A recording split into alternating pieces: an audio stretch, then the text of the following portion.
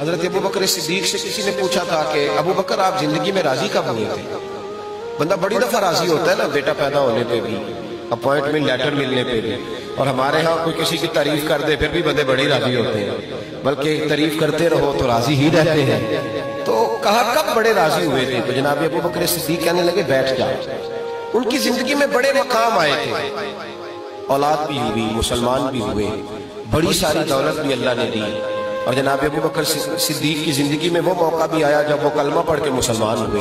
और सबसे पहले हुए, वो एजाज भी उन्हें मिला कि जब उनके बालक भी, बेटे भी, पोते भी और नवासे भी मुसलमान हुए।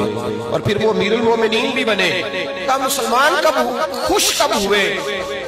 तो फरमाने लगे, उस दिन खुश हुआ था, जिस दिन मैं नबी पाक को मक्के से मदीने लेके जा रहा था। फरमाने लगे, रस्ते में गर्मी बड़ी सख्त थी। नबी करीम को पसीना आ रहा था। मैं दुआ कर रहा था कहीं थोड़ा सा साया मिल जाए। ना तो हुजूर को जरा आराम कराऊं, थोड़ा सा साया। कहते हैं कि ढलान नज़र आई, उसका साया था।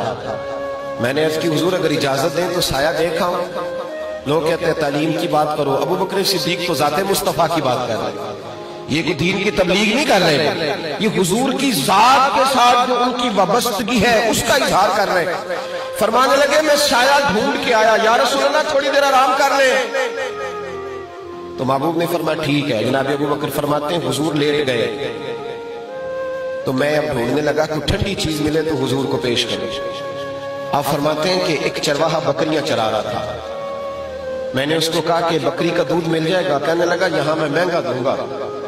फरमाने लगे, तू बता कितने पैसे लेगा? जितने पैसे तू कहेगा, मैं उतने ही दे दूँगा। फरमाते उसके साथ सौदा हो गया। मेरे पास एक लकड़ी का बर्तन था। उसमें पानी था। मैंने, एक रवायत में पानी था और एक ये है, जो कंजुल माल के लफ्ज है, वो ये है कि पानी वहाँ से दूर था, पहाड़ के पीछे था। मैंने उसको कहा, यार, मेहरबानी कर। ये प्याला भी धो ले, अपने हाथ भी धो ले, बकरी के थन भी धो ले।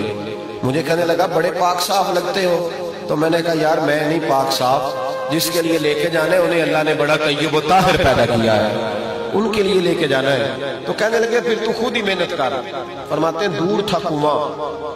मैं दौड़ता गया, पहाड़ के पीछे।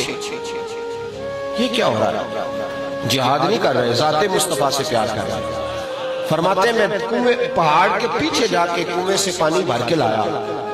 और फिर मैंने, पहले बकरी के थन धोए फिर मैंने अपने हाथ धोए। फरमाते फिर दूध धोया। फिर मेरा दिल किया, दूध जरा ठंडा करो। फिर वो प्याला लेके मैं कुएँ पे गया। एक डोल पानी का निकाला और प्याला उस डोल में रखा। जब दूध ठंडा हो गया ना, फरमाते फिर मैं तेज तेज चला, कहीं हुजूर तक जाते जाते दूध फिर ना गर्म हो जाए। कहते, महबूब आराम कर रहे थे। मैं जाके खड़ा ही हुआ था कि करीम रसूल ने आके खोल दी। महबूब ने आके खोल के कहा, क्या लाए हो? अबू बकर सिद्दीक कहते हैं, घुटने ज़मीन पे रख के मैंने दूध पेश किया। मैंने कहा, हुजूर, ये प्याला दूध का है, अगर कबूल हो जाए, ये दूध का प्याला अगर कबूल हो जाए। नबी करीम सलाम ने वो पकड़ा और जब होठों से लगाया ना, हज़रत सिद्दीक अकबर कहते हैं, मेरी तो चीख ही नहीं निकली मैं रो ही पड़ा। वो बकर रोए क्यों? कहने लगे, मेरी खिदमत क्यों कबूल हो गई? और फरमाते हैं, जब दूध पी के महबूब सलाम ने कहा ना, मुझे बड़ा लुत्फ आया है। तो फरमाने लगे, लोगों, मैं उस दिन इतना राज़ी हुआ कि ना उससे पहले कभी हुआ था, ना उसके बाद कभी हुआ। इतना मैं उस दिन राज़ी